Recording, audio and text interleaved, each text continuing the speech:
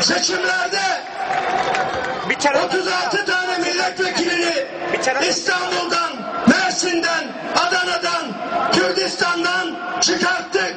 Ama bu kurul arkadaşımız, yoldaşımız Hatip Dicle'nin milletvekilliğini bir hırsız gibi çaldı. Adalet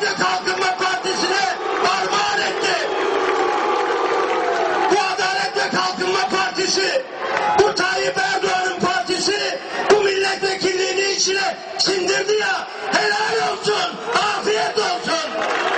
Kürt halk önderi Sayın Abdullah Öcalan'ı bize karşı çıkartmaya çalışıyorlar. Sayın Abdullah Öcalan bizim boykot kararımızı verdiğimiz hafta açıkça söyledi. Bu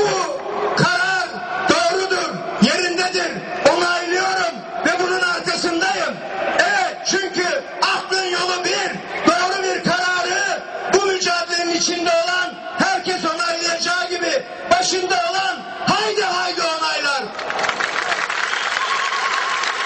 Bu hafta Sayın Öcalan İmralı'dan avukatlarına dedi ki eğer bakın din buna kulak kabartın eğer yeni bir mutabakat koşulu ortaya çıkıyorsa böyle bir taahhüdün altına hükümet giriyorsa o zaman boykotu sona erdirebilirsiniz. Şimdi sermayenin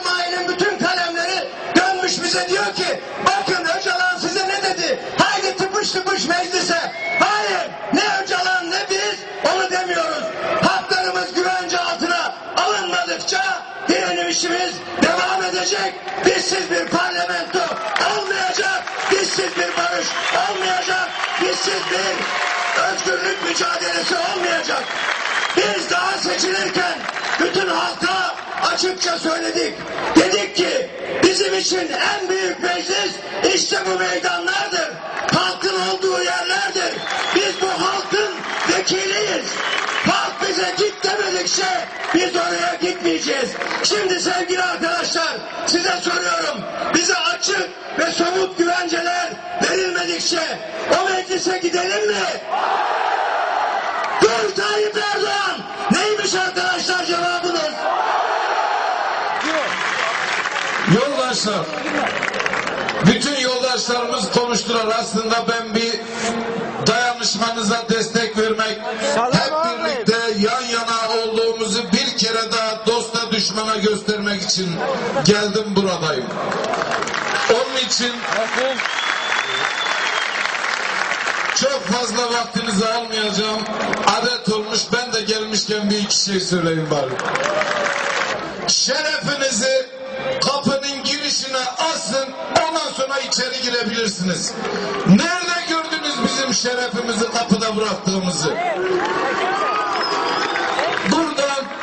Sayın Başbakan'a sesleniyorum. Çekme çekme. Bizde yoldaşını satmak, yarı yolda bırakmak, yerde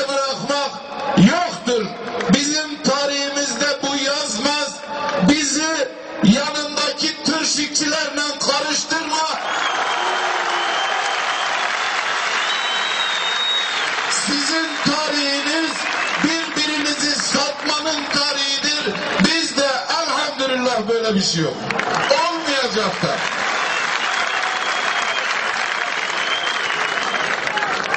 Bir kere söyledik. Ya yoldaşlarımızı bırakırsınız ya nasıl bırakacağınızı deklare edersiniz. O da kapalı kapılar ardında değil. Bütün halka, bütün Türkiye halklarına açık olarak söylersiniz. Biz de gider bakarız hele o meclis nasıl bir şeymiş. Meclis dediğinizde bir yer. Buradan daha kaliteli değil. İşte sizinle yan yanayız. Omuz omuzayız. O siyaseti burada da yaparız biz. Birazcık aklı olan, birazcık haysiyeti olan, birazcık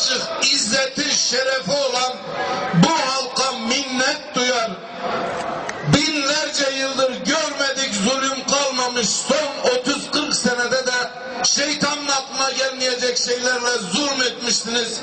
Hala ayağa kalkmış barış diyor. Hala ayağa kalkmış halkların kardeşliği diyor. Yerinizde olsak sizde biraz şeref olsa elini bırakır ayağını öpersiniz bu milleti.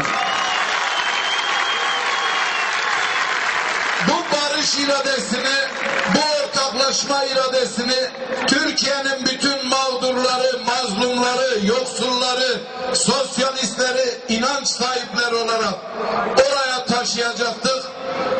Ön kapıdan girmeyiz, arka kapıdan gireriz. Hiçbirine sokmazlarsa bahçesinde yaparız. Oraya da sokmazlarsa a böyle meydanlarda yaparız. Bizim için kaybedilecek bir şey yok. Kaybedeceğimiz tek şeyimiz vardır. O da şerefimiz. O da bu baş, bu gövdeden ayrılmadan alamazsınız. Alamazsınız. Alamazsınız. Bu ruhsatı sizden aldık. Onların her bir milletvekilinin iki üç katı oyla gönderdiniz bizi. O anlamda da o tırşıkçilere benzemiyoruz. Her birimiz kapıların içindeyiz.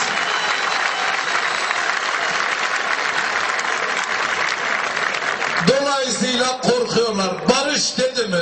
Ortaklaşma dedi mi? Özgürlük dedi mi? Demokrasi dedi mi? Bunlar kaçacak delik arıyorlar. Aramasınlar. Demokrasiyi ve özgürlüğü bir kez keşfetseler onların da hoşuna gidecek. Ama fırsat vermiyorlar. seçim sürecinde başlayan AKP YSK işbirliği Sayın Hatip Dicle'nin